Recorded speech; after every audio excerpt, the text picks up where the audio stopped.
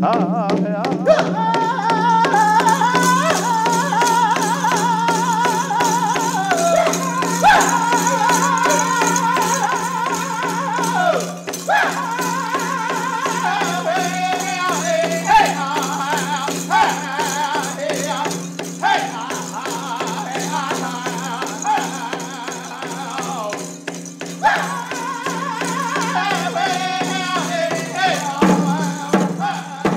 Prairie Chicken Society dates back to the late mid 1800s.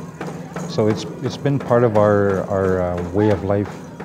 Uh, from what I from what I know, uh, after the the Sundance, when er, when uh, when the Sundance was over and all all the um, all the ceremonies were done, they had a celebration, and that's where everybody came out, and uh, drummers came out, and they they they uh, they celebrated life. The thing I enjoy about singing the most is that it, it, it's it's my balance in life with with the with the with the work world and the and and my way. It balances my life. It makes me feel. Um, it grounds me.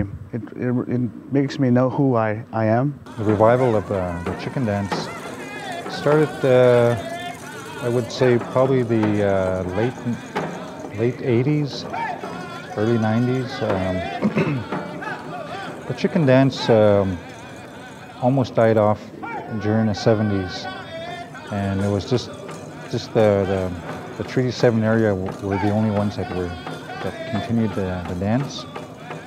And uh, after 1990, it started picking up, and uh, when I when I started dancing again in '90, there was very few of us. Uh, was just I was practically considered the young guy in, on the circuit, and uh, I encouraged a lot of uh, the younger people that were um, that were dancing in other categories to try it out